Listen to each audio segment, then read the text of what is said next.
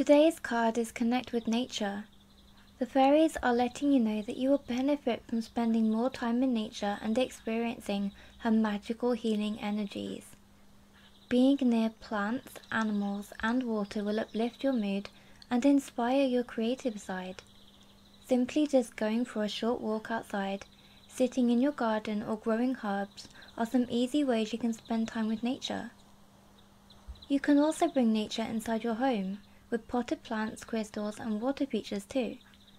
These will help you to stay connected with Mother Earth and create a positive Zen atmosphere in your home increasing the positive energy and health of your indoor environment.